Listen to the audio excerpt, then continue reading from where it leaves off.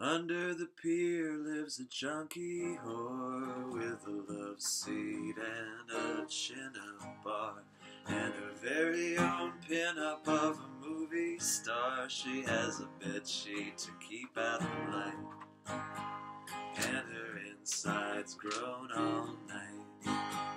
All she wants to do is fight. Yeah, she's itching for a fight.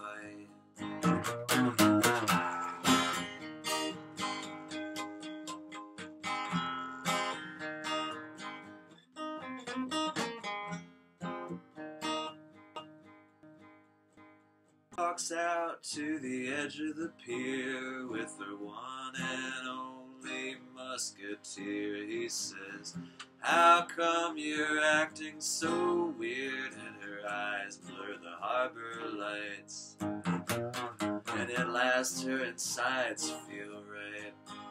Now the time has come for a fight.